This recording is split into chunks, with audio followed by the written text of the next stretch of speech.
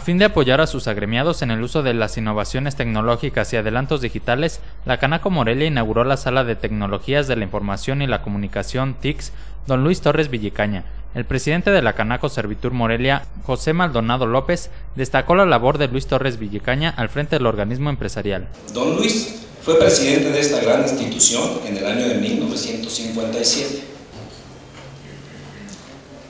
Don Luis compró este hermoso edificio en la cantidad de 120 mil pesos y realizó 200 pagarés de 500 pesos cada uno. Maldonado López informó que la sala, en la que se invirtieron 350 mil pesos, está equipada con lo último en tecnología. Equipamos una sala con la mejor tecnología.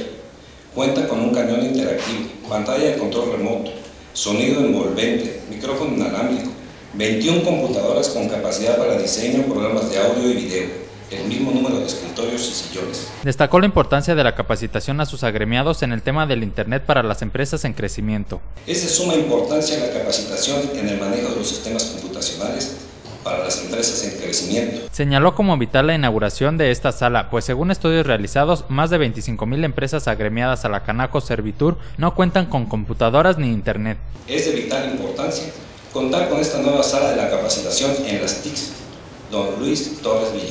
Por su parte, el edil de Morelia, Wilfrido Lázaro Medina, destacó el apoyo brindado de la Cámara a todos los empresarios. Y lo que yo veo es que en la Cámara han logrado sí empujar, sí reconocer a quienes están en la cúspide y ojalá sigan creciendo porque generan empleo y sus ideas se consolidan. Maldonado López finalizó detallando que la dependencia que encabeza representa a más de 35 mil empresas de la capital y los 24 municipios que están dentro de su jurisdicción y en su consejo directivo participan de manera honorífica 52 socios. Con información de Felipe Bárcenas informa Cuasar TV.